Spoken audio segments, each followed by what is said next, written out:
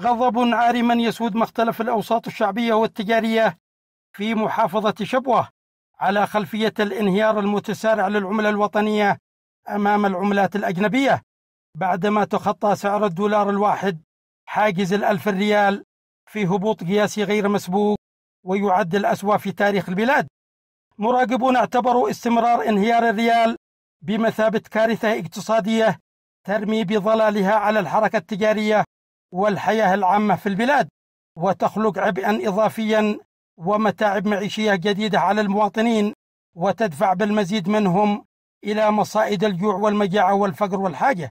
فيما شهدت أسواق المحافظة حالة من التخبط في مختلف الأنشطة التجارية حيث تحفظ الكثير من التجار على بيع البضائع للترقب عما تؤول إليها أسعار الصرف تفاديا لتعرضهم للخسائر.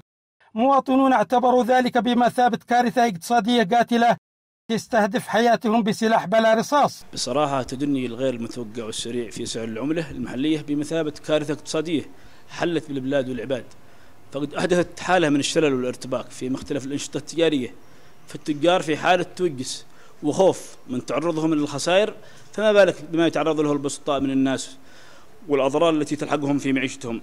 الأمر يتطلب إلى التدخل السريع والعاجل لإنقاذ الاقتصاد الوطني وإنقاذ الناس بشكل أجمع من مجاعة وموت محقق لا سمح الله. ومع الانهيار المتسارع والخطير لسعر صرف الدولار مقابل الريال اليمني فقد أوقفت محال الصرافة عمليات بيع وشراء العملات تنفيذا لقرار نقابة الصرافين بالمحافظة. في الحقيقة نحن في نقابة الصرافين محافظة شبوة قمنا بتوقيف عمليات البيع والشراء.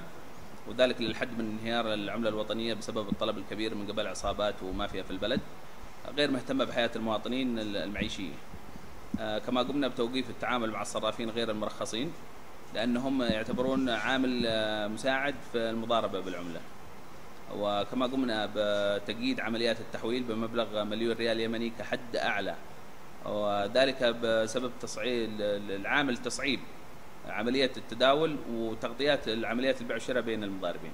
يواجه اليمنيون منذ اندلاع الحرب التي أشعلتها الميليشيا الحوثية المدعومة من إيران منذ سبع سنوات أسوأ أزمة إنسانية في التاريخ لما ترتب عن هذه الحرب العبثية من تداعيات خطيرة ضربت المنظومة الاقتصادية في البلاد واستهدفت كل مقومات الحياة والعيش بسلام.